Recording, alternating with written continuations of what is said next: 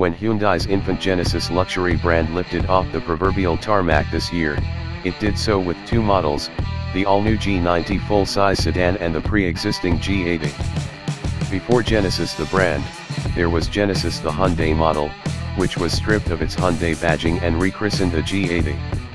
The badge swap was more or less the extent of the changes during the 2016 Genesis sedan's transition to the 2017 G80 well, that and a price bump and an increase in standard safety tech.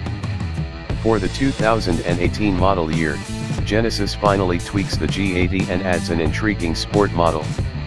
The G80 really didn't need to be fiddled with, as the original formula cooked up when it was still a Hyundai successfully incorporated equal measures of luxury and competent driving dynamics.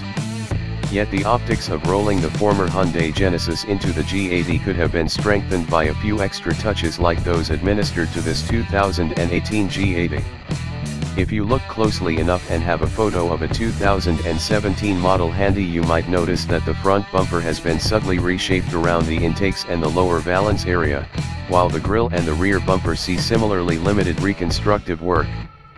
There are also new 18-inch wheels for the entry-level G80 3.8 model. The G80's base 3.8-liter V6 and optional 5.0-liter V8, as well as the rest of its mechanicals, go untouched.